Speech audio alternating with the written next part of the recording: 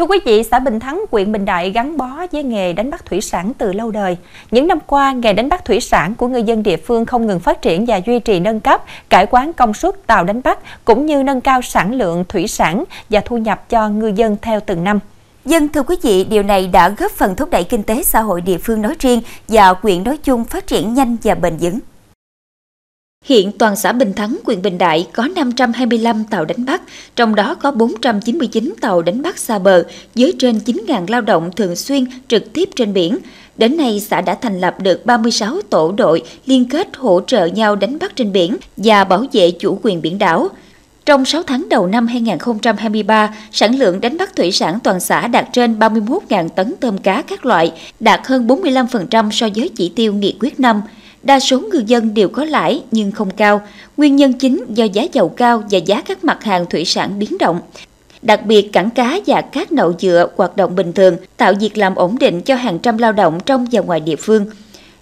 Nghiệp đoàn bốc xếp vận chuyển hàng hóa từ tàu lên đậu dựa nhanh chóng, thuận lợi, đảm bảo thời gian và chất lượng sản phẩm tiêu thụ.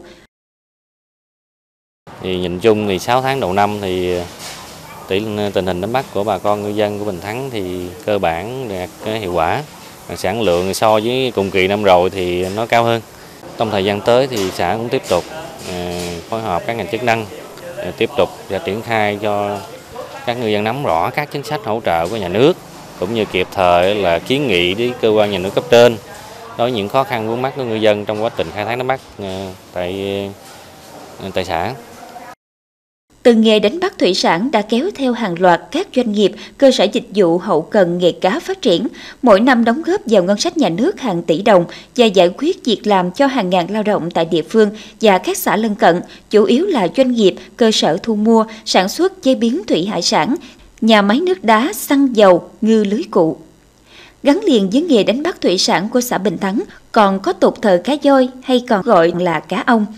ngư dân địa phương xây lăng ông Nam Hải để thờ cúng và tổ chức lễ hàng năm vào dịp rằm tháng 6 và kéo dài đến hết ngày 17 tháng 6 âm lịch. Tức là từ hôm nay, sự kiện này sẽ diễn ra với nhiều nghi lễ như nghinh ông, thịnh ông an dị, cúng tiền giảng, cúng chánh tế, xây chầu đại bội cùng các chủ hoạt động hội phong phú thiết thực phục vụ nhu cầu vui chơi giải trí và thưởng thức, truyền tụng nét đẹp văn hóa dân gian của nhân dân và thu hút du khách trong và ngoài quyện tham quan.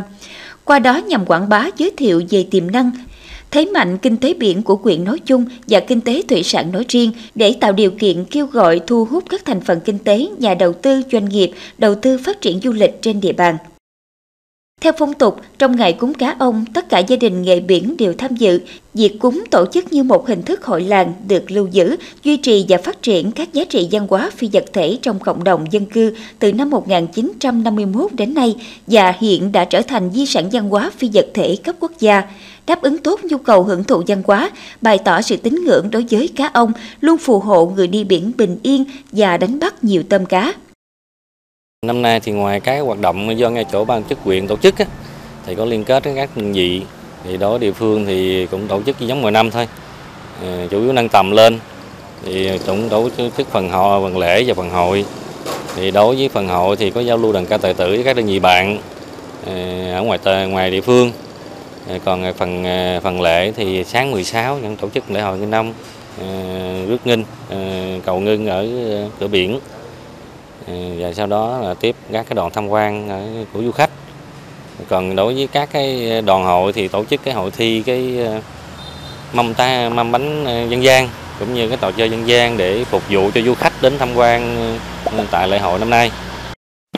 Lễ hội Nghinh Ông Bình Thắng không chỉ là dịp để ngư dân thể hiện sự kính trọng với các đấng siêu nhiên, cầu cho mưa thuận gió hòa, thuận thuyền khi ra biển, có cuộc sống ấm no hạnh phúc, mà còn góp phần giáo dục truyền thống, quảng bá văn hóa, thu hút du khách để thúc đẩy phát triển tiềm năng kinh tế biển và du lịch của địa phương.